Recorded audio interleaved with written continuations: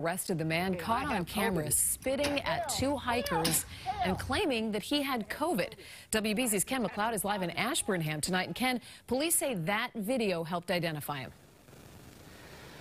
It did, Lisa, and with a combination of social media and old-fashioned detective work, police got it done. But today, a 71-year-old retiree known on social media as the Ashburnham Spitter pled not guilty to an unusual felony. Let's, let's just say that it was no surprise. He was not surprised upon our arrival this morning to speak to him. Police say 71-year-old Hale Powell was pretty much expecting them when detectives showed up at his Westford home this morning. Okay, I have COVID.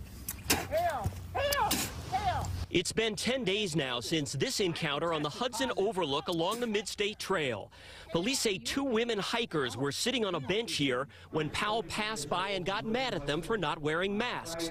He called them selfish, irresponsible lawbreakers and then spit at them several times, claiming to have coronavirus. I have COVID.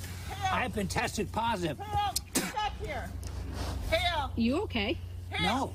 You won't be soon. Today, Hale's story was a bit different. The individual stated, stated to us that he is not. Um, but I'm going to leave that up to the court whether or not they require him to get a test. After determining early on that their suspect was not a local guy, police cast a wider net on social media, and that eventually helped lead them to Hale, who was arraigned today on misdemeanor assault charges, along with falsely threatening a biological agent, a felony. Police say their investigation into the back and forth out on the trail isn't over yet. It's stress and it's pressure, um, not to justify the incident in any way. It was, uh, it was a wrongful uh, that didn't have to happen.